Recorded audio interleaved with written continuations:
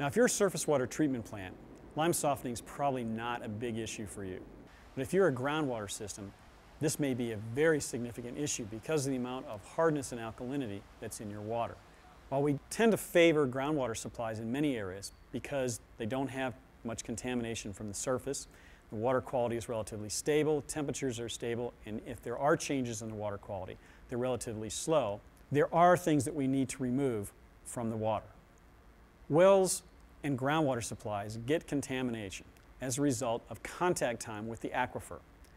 Basically, the longer the water is in the ground, the more it's dissolving the limestone and other materials that are in the rock formation. As a result, the alkalinity and hardness go up with time.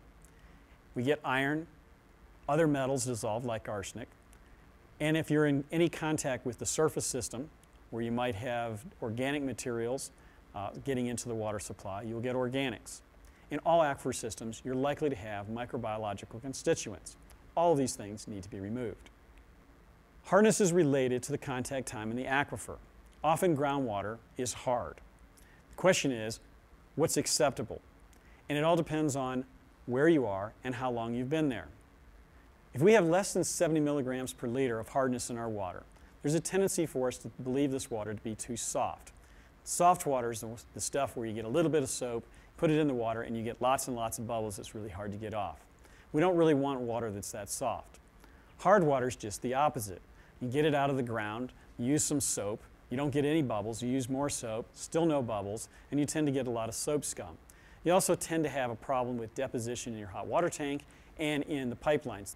What we'd really like to have is our hardness somewhere between 70 and 120 milligrams per liter. And that's where treatment with lime softening comes into play. This is what happens when we don't get the hardness out of the water before it goes into a pipeline. This is a galvanized pipeline. It was lined. And what you can see here is uh, we've got calcium carbonate uh, that's settled in the pipeline. It's reduced this uh, two inch diameter pipeline uh, to about a three quarter inch line. If you're depending on this for water service uh, in your distribution system, uh, this will indicate to you that you really can't get water pressure to any of your customers.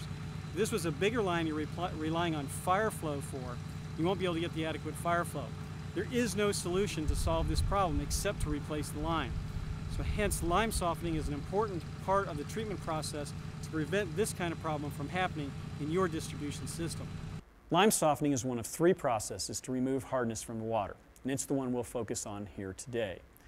Ion exchange and membranes are two other alternatives.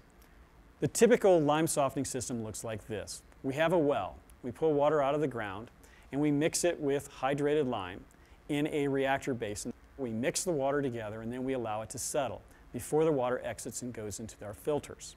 After the filtration, the water is disinfected and placed into the distribution system. The concept for a reactor design is based on retention time. Retention time is important because it tells you something about how the water moves through the reactor and how fast things will settle or may need to settle. It also is related to hydraulics and the size of the piping. We want to be able to move the water from one reactor system to the next. The first thing that we start with is a lime silo. You see a lime silo on the right here, and on the top you have a airbag system that you see on the left. The concept is that we blow the lime into the silo. We never touch it. And as a result, we need a way for the air to get out. That's what the bag's there for. The lime is a dust. It also is an exothermic reaction, meaning when it touches water, you get a very hot reaction that occurs. We don't want it on our skin because it can potentially burn us. There are a variety of ways to get the lime out of the silo and into the water. What you see here are three feeder systems. They're all based on flow pacing. So we get a certain quantity of lime out of the silo at a given time before we mix it with water. Typically, this is in some form of a slaker. What you see in this photograph is a slaker. What's happening is this is the very bottom of the lime silo. What we're doing is the lime comes out and it goes on that little conveyor belt that you see there. Down at the bottom, it mixes and it kind of creates this cake dough like stuff. Mixes with a little water. It's then quickly pumped into another vessel where we mix it with more water so that we can pump it into the reactor system. The reactor is seen here. You see that yellowish, milky looking water. That's the lime slurry mixed with the raw water. This water has some organics in it, so the color tends to take greater pigment, but lime is, mixed with water is generally going to be yellowish. You also note in the basin outside that, the clarifier portion of the reactor, how clear that water is. That's because the lime softening reaction is a very fast reaction. It occurs within a matter of minutes.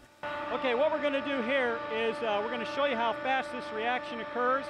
I'm going to take this dipper and I'm going to put it into the uh, lime system. And then what we're going to do is we're going to see how fast this actually comes out. Okay, so what I've done is I set it here. You can see the water's uh, starting to settle very quickly. It's a uh, lime softening is a chemical reaction. It's going to settle a little bit. You can see the floc trying to stir and settle. And then what I'm going to do is I'm going to tilt this and I can decant off the, uh, the clean water off the top and we'll see the uh, lime sludge down in the bottom.